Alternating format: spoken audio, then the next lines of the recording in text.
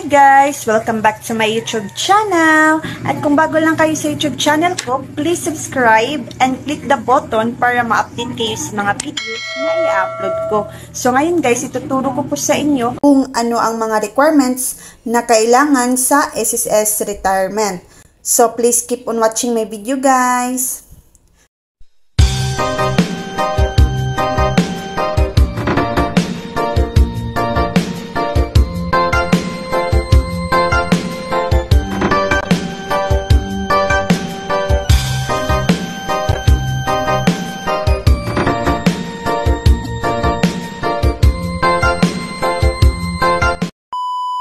Hi guys! Ngayon naman guys, i-share ko po sa inyo kung ano ang mga requirements na kailangan sa SSS retirement.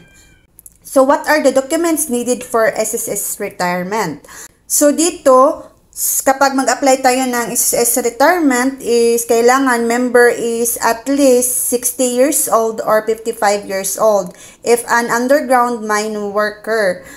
For optional retirement or 65 years old or 60 years old if an underground mine worker. For technical retirement and has paid less than 120 monthly contributions. So, kailangan meron tayong ganito. So, first na ano needed for SSS retirement is number one, yung una is SSS retirement claim application form. So, ito yung SSS form DDR slash 1. Then, second is primary ID or two secondary IDs. Then, third is birth certificate or any valid ID showing your date of birth. Then, pang-apat is original and photocopy of passbook slash ATM card with name or copy of bank validated deposit slip or cash card enrollment form.